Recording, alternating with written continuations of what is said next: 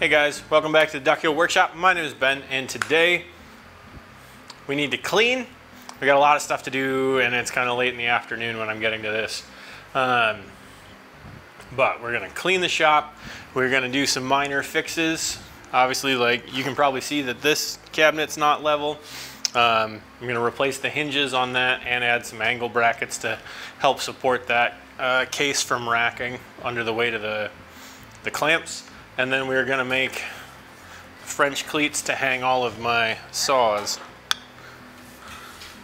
So, uh, and then somewhere in all of that, we're gonna take down a bunch of lumber from up top to make a flag case for my grandpa Dallas's funeral flag, memorial flag. You might be able to hear my brother-in-law sanding his, uh, the doors that he's painting for their house downstairs. Uh, they're having some paint failure issues. Um, so yeah, he's trying to sand and fix those. So if you hear that kind of burn, that's probably what's going on. You might also hear a little bit of wind noise because it's still, it's July in Minnesota, which means it's hot and humid and awful. My least favorite month of the year. And so I have a fan moving some air around in the shop. Uh, otherwise it just gets really stagnant in here and we are still waiting, hopefully this week, cross our fingers, the air conditioning people are coming and we are getting air conditioning installed in the shop. So, anyways, uh, what else is new? Oh, I got this Milwaukee shirt. Milwaukee sent it to me. Apparently I won something. The only thing I can think is that they entered everybody who registered tools last year into something. Um, the only tools that I purchased, purchased, got from Milwaukee were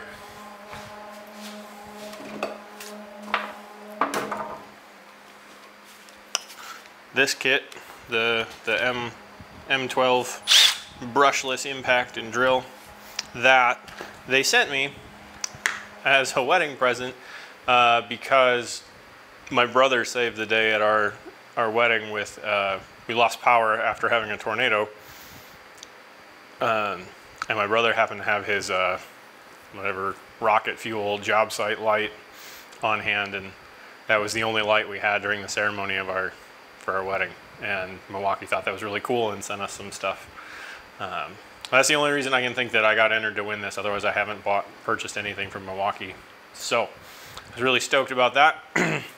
and that's it. Otherwise, we're going to clean up the workbench because it's just the ongoing projects. Uh, we finished the quilt racks, delivered those down to uh, Platteville on Friday, did a marathon day drove down, got dinner with friends, and uh, then drove home in one day, which is like 10 or 11 hours in the car with pit stops. So I missed this week's Sunday video. I'm sorry. This is kind of going to be a mixture of a build it and a workshop Wednesday. Maybe I'll put it out on Tuesday. So let's get to it.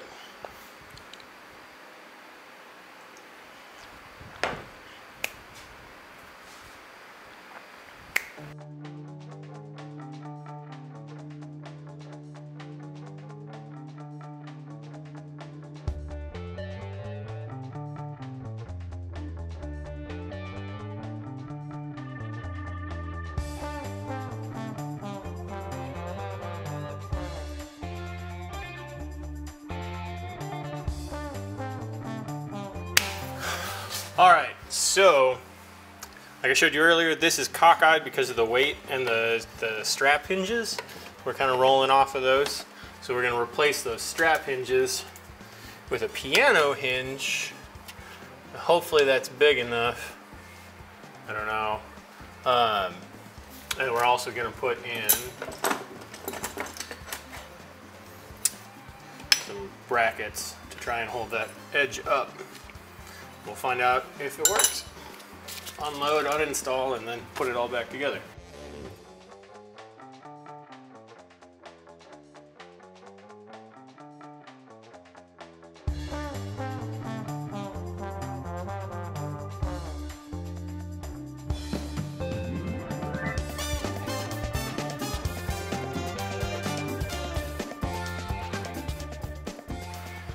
All right, now the hinges are on, but as you can see, that's still gonna sag quite a bit. Hmm.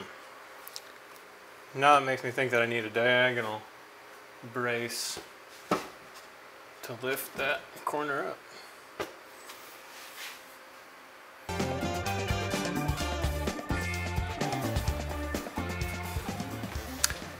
Well, if you can see that, I think we probably made it worse.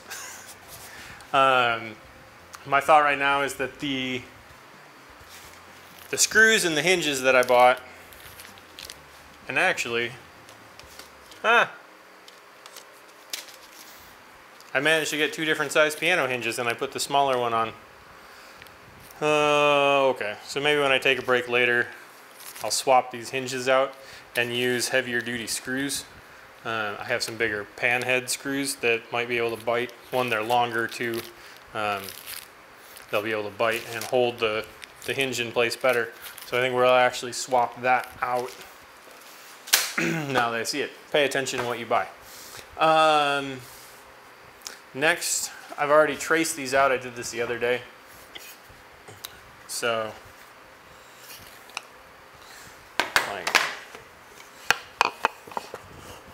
much, uh, something like that. We're gonna cut these out. So I've got a little bracket that'll go inside of there.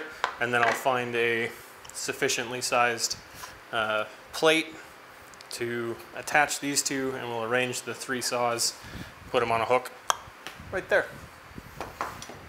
so we'll get that done and then we're going to tackle into this stack of walnut, the majority of which came from my grandpa Dallas, so it seems kind of fitting. Um, I don't know where he got it. I don't know how long he had it. It's all, some of it I've previously surfaced uh, before I knew any better. That it's kind of a waste to surface wood and then store it that way. And who knows how long it's been sitting. Uh, could have been in my grandpa's garage for 50 years or more. uh, all right, but that's what we're going to make his case out of. So cool, we're going to do this first and then that. First hydration, it's hot. I'm barely moving. I've got the fan pointed right at me and I'm just bleh, melting. Oh boy, gotta move some stuff.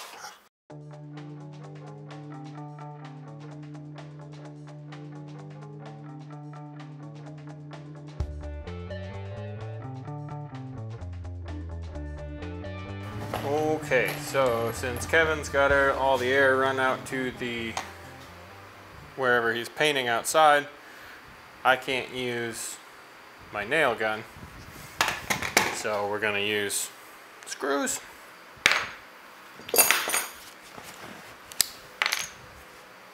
Just the downside to using screws is that it creates a chance for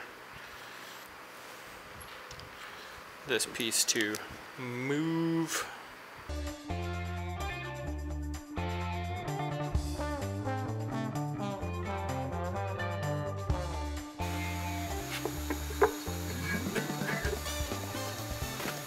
And there it is. It does need, they're a little bit precarious, so I do think I need something out here to kind of help hold them in place. Uh, but otherwise, there we go.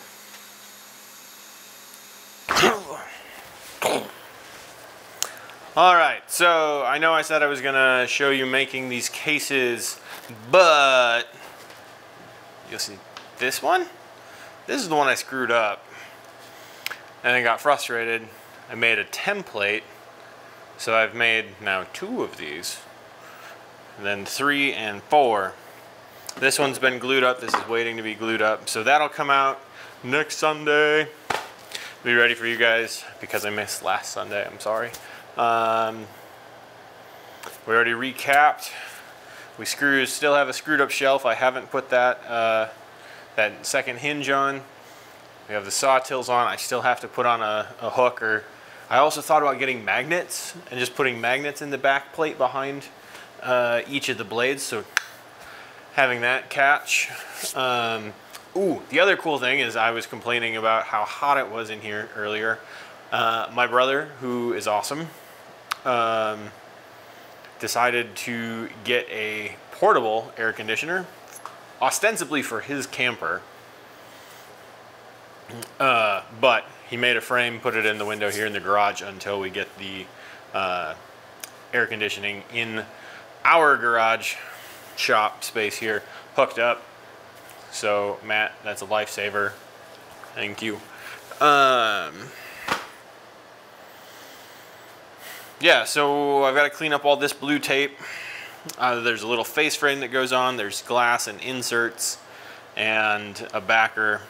Um, you can make these to be a wall hanging thing or a, like sit on the mantle. Uh, I think ours for, for my grandfather's flag is going to sit on the mantle.